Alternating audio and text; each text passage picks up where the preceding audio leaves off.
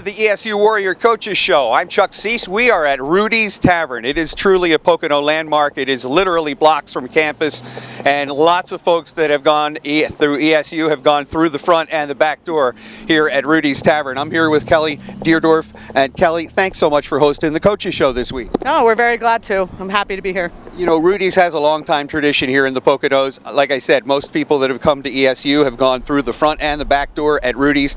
Uh, your father even had a connection with East Stroudsburg University. Can you talk about that a little bit? My dad actually went to college at ESU and played football for at ESU. And when he went to Marine Corps, he came back and was helping out Coach Dowds for a little while, coaching, and then ended up came and started working at the bar full time, so he ended up quitting school. But. but. there's actually a story that goes around that, that your father was able to actually stymie Coach Denny Dowds in a football bit. game. Well, and this is Dad's side of the story, but Dad was in the Marine Corps in Quantico, and they had a scrimmage. Coach Dowds brought everybody down, and they uh, ended up Oop, they ended up, should we start over? No, the dog's asking for a super, actually. So they ended up coming down for a scrimmage, and this number 64 on the team knew all the plays and they couldn't figure out why. Get 60, you know, trying to get 64, stop 64. And at the end of the game, he came up to the coach and was like, hey, coach.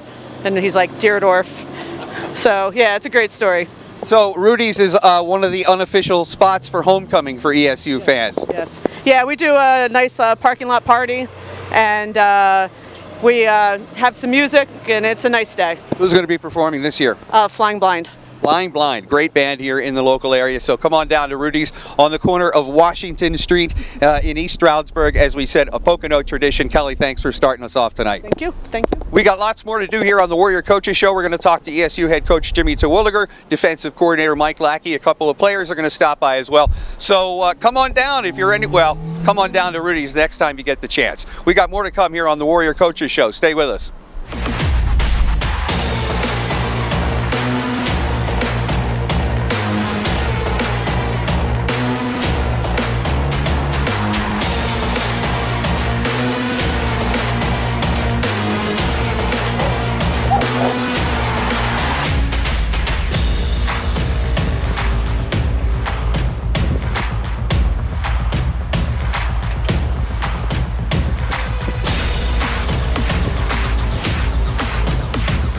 Welcome back. We are live in front of Rudy's Tavern on Washington Street in East Stroudsburg for the ESU Warrior Coaches Show. Week number three, headed into week number four of the football season, and we're here with head coach Jimmy Terwilliger.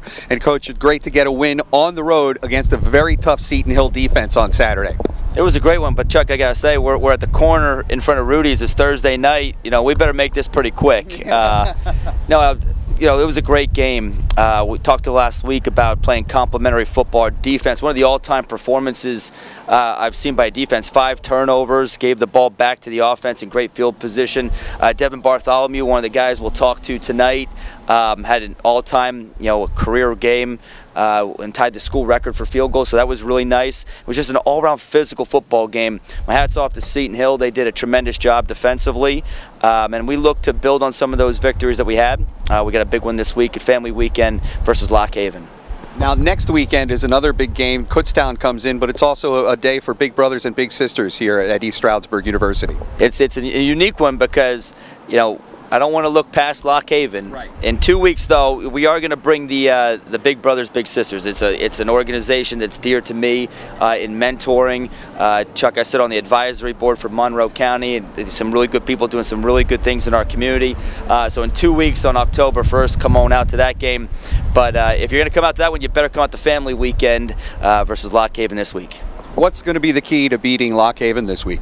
We have to we have to play to our capability. You know, we have we have a unique time where you know sometimes we play to the competition level, and we're going to fight that this week. Uh, I think defensively, we know what we're capable of in a lot of ways, um, and keep holding that standard, holding that line trying to get the ball back. You know, our defense had, I think it was uh, 3 14 or 3 of 17, three and outs versus Seton Hill. We, would like to continue to build that. Offensively, we want to be able to control the ball. You'll see a, a heavy dose of uh, Matt DeLaurentis at, at quarterback uh, and mixed with some freshmen, Sean McTaggart and Aaron Tobias, uh, being able to, to, take some snaps uh, with Jake being unhealthy this week. Uh, but we're excited about it. Um, want to play great in the kicking game as always.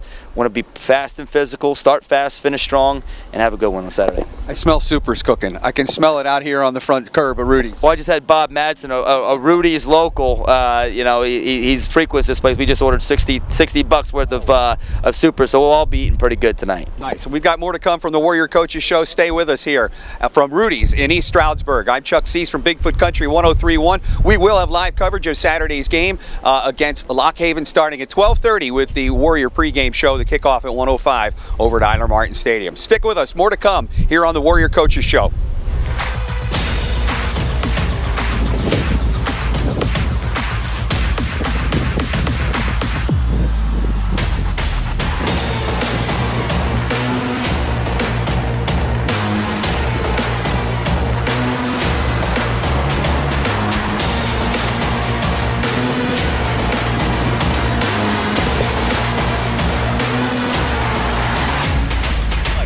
Welcome back to the ESU Warrior Coaches Show. We are live in front of Rudy's Tavern on Washington Street in East Stroudsburg with a crowd of a, dozen or so folks with us here. And I'm pleased to be joined by ESU Defensive Coordinator, Coordinator Mike Lackey, who was a graduate assistant here at East Stroudsburg University and then went to the University of Missouri and now comes back as the defensive coordinator. So, Mike, what was that four years like for you in Missouri and what were you able to bring back to the Poconos from the University of Missouri and your experience there? It was it was a great experience at Mizzou. Uh, got to work with some really really good coaches. Um, got to really work under two great head coaches in Coach Pinkel and Coach Odom. A couple really good defensive coordinators, a couple really good D line coaches, and um, got to work with some really great schemes there. And we took a lot of that back with us here. For decades, the Warriors have been known as an offensive team. And defense was kind of like, well, if they score 34, we're going to have to score 35. And if that's what happens, we're going to do the best we can. But that's we'll you know see how it falls. But now defense has become you know somewhat uh, much more respected around the conference. And I think your uh, regime, as you might say, under, as the defensive coordinator, has had a lot to do with that. What has the mentality been like to change that here at ESU? Uh, really, that mentality's never really been part of our thought process on this defensive staff. Uh, we want to stop you every time you go out. Uh, we don't want to give up anything. If the offense scores any points, we got to do our job and get the win. So it's we want to stop them every time they get out. We want to get off the field, get back to get back to the bench. All right, now we're going to step off of football a little bit. Mike and I have uh, have young children in our life that have been new additions. For Mike, uh, a son that's now seven months old. For me, a granddaughter that's now 13 months old. So you know, we share we trade notes. But I want to ask you, um, which is worse, the 4 a.m. feeding or the poopy diaper change? I mean, for me, it's it's definitely the diaper change. I mean, my wife, I got to give Jessie a ton of credit. She does most of the 4 a.m. feedings, and by most, I mean pretty much all of them. Um, I'll I'll do a poopy diaper here and there, but most of the 4 a.m. feedings are, are Jess taking care of all of it. She does an amazing job with Jack. Believe me, the preparation that goes on in my house just to get me to change a poopy diaper, the tub has to be full of tepid water because you don't want it to be too hot. There's gloves, there's goggles, there's lots of things involved, and that doesn't change as a grandparent because they'll take the 4 a.m. feeding, but they always let you change the poopy diaper. So that that's not going to change in the future at all. Uh, all right, I got a trivia question for you. What are the state nicknames of Missouri and Pennsylvania? Missouri's the show me state. Very good. Pennsylvania. Uh, oh, the Keystone State. the Keystone State. Very good. Very good. ESU uh, defensive coordinator uh, Mike Lackey. Thanks for the time. Thanks for being here today. Thank you so much for having me. It's the ESU Warrior Coaches Show from Rudy's Tavern on Washington Street in East Stroudsburg. We've got more to come. A couple of Warrior players are going to join us next.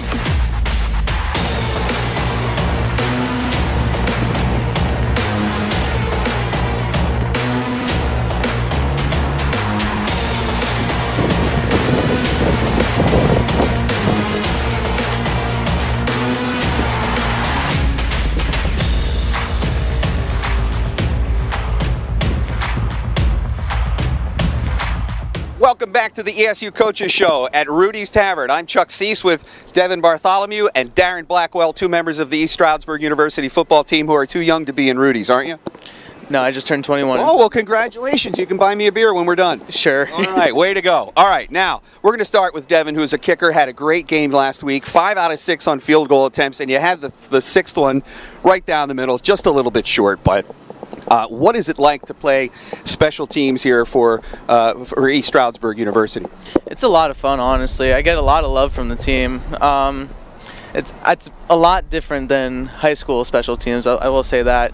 Uh, when you get to college, the team like when you're out there, like the, all eyes on you. Like my team is just cheering for me constantly. So I have a lot of fun with it. I enjoy it a lot. Cool. You now lead the PSAC in scoring uh, because of your performance last week. Again, five out of six. Uh, now, I've been told that Coach Dowds used to teach kickers that kicking a football was very much like a golf swing. Have you ever heard that theory? Yeah, so when I started out kicking, I didn't have a coach for most of it. So my dad, he plays golf and related it to, to golf to teach me how to kick. And so, what is it about? Is it like how the downswing comes through? Is like your foot coming through the ball? So my my leg is like the the club, my leg and foot. So if I swing straight, ball's gonna go straight. If I pull it left, ball's gonna go left. If I open it, then uh, the ball's gonna go right, just like a golf ball. Maybe you could give me some golf tips when we're done too. I'll buy you the beer.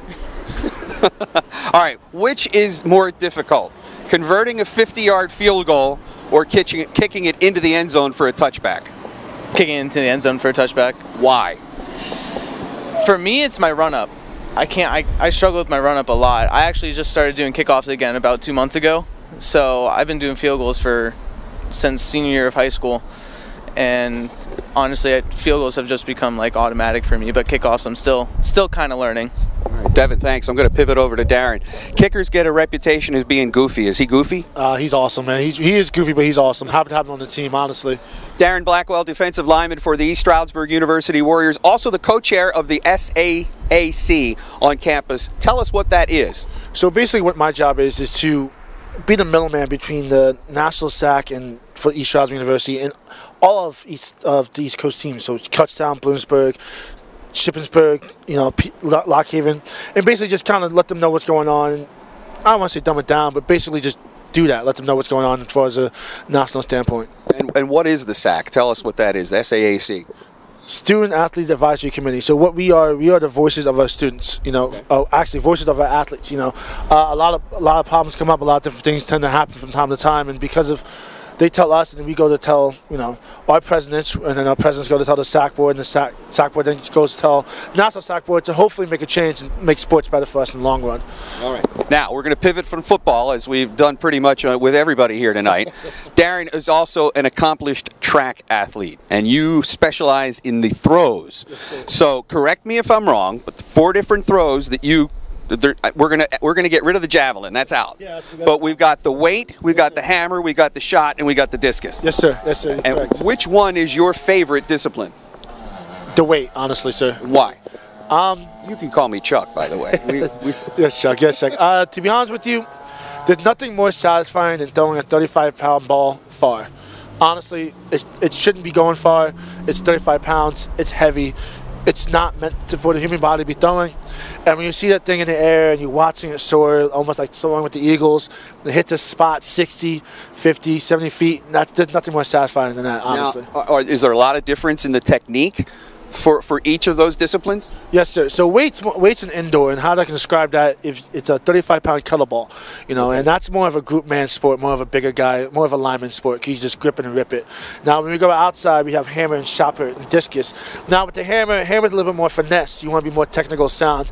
You want to be able to have the ball come to zero and really push to 180 and make sure you get the ball in a nice orbit. That's in order to go far. If you're pulling the ball with, with, hammer, it's not gonna it's not gonna go work. You're gonna get very frustrated. Let me tell you, I know firsthand. this Discus is a little bit more not as much. It, it's technique, technical, but you can get away with bad technique if you're big and strong. Right. You know, which I'm not, so I have to be very technical. Uh, so that's more of a mental thing. Right? Make sure you hit the middle, make sure you get your left foot down, and, and make sure you really finishing high and making sure the, the discus is releasing at a certain angle. Shot put is my worst event, hands down. I struggle in the shot put. I don't understand it. it's the science behind it. Okay. I also don't get why people like to put 16 pound metal cold balls in the neck right, and, and, yeah. and, and throw it far for some reason. Don't understand that. But same with that, it's kind of like it's kind of like discus as far as technique wise, so left foot down. But it's a little bit more technical sound in my in my opinion. So. And it's been said that every man should know their limitations. So you know, you find out that you know there's not. I'm not good at ballroom dancing. So you know, uh, we one more for you. We're gonna play true or false. True or false? You wear your track tights underneath your football uniform. True. I didn't know that. True. I'm surprised. I would have bet false. I know. Actually, it's a lot more comfortable. Honestly, gives me more room to do what I got to do. So yeah. You need room down there. Yes, yes, sir. Yes, we do. Daryn, thank you so much for the time. Devin, thank you so much for the time. Get out after it against Lock Haven on Saturday. Thank you so much for having me. Family weekend at Eiler Martin Stadium. Kickoff at 105. We'll have the pregame show on Bigfoot Country 1031 at 1230 on Saturday afternoon. Thanks to Rudy's. Thanks for everybody for being here. Thanks to you for watching. We'll see you next week from Bovino's in the Poconos on the Warrior Coaches Show.